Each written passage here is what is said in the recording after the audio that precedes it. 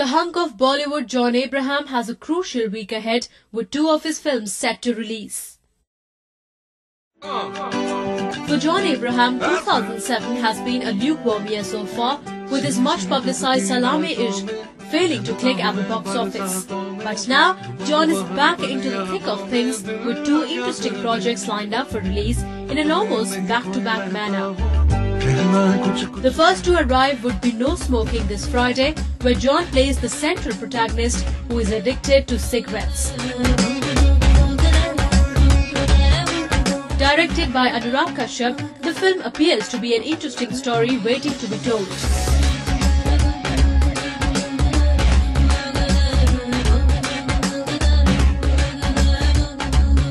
Exactly a month later, that is on 23rd of November, his other high-profile project, Goal, would be hitting the screens. With football as the central element of this Vivek Agnihotri directed film, this flick might just keep the fire burning at the box office. Our best wishes, John. Hina with Ina for ANI.